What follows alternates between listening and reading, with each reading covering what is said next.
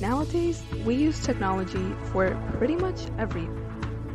But have we ever stopped and asked ourselves, where does it all end up? E waste is all of the old technology that we don't use anymore.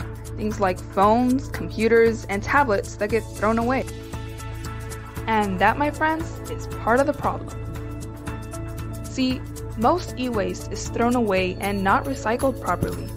Only an estimated 20% of all the e waste produced was recycled as of 2019, compared to the huge amount of it that ends up in the landfills, making up 70% of all hazardous landfill waste. Why is this such an issue? E waste landfills can seep into groundwater, releasing harmful chemicals that can impair human health and damage our atmosphere. And waste isn't just created by the old devices we throw away, it's also created by the use of electronic devices in the form of carbon emissions.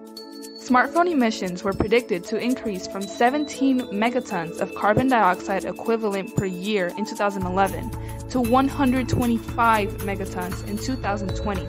That's a 730% growth. The more fossil fuels, like carbon dioxide, that we release into the environment, the more greenhouse gases there are.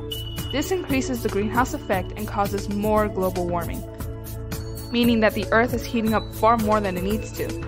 All of this can be harmful to the atmosphere and to our life on Earth, causing things like extreme temperatures, crazy weather, rising sea levels, and possibly even drought or famine.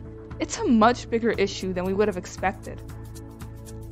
So now that we know that e-waste is a huge issue, what can we do? Well, for starters, we can take care of our phones to increase its lifespan and decrease the amount of waste we create you know, like cleaning them, trying not to drop them, investing in a good phone case. We can also limit how many devices we buy. This will make sure that we don't release as many carbon emissions through use, and it will decrease the high demand for these devices, cutting down on the manufacturing processes that rely on fossil fuels and generate a lot of waste. Together, we can make a difference and take care of the planet that we call home.